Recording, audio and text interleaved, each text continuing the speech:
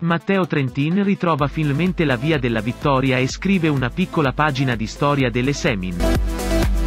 Il Trentino della UAE infatti è il primo italiano di sempre a conquistare il successo nel classico appuntamento belga di inizio marzo.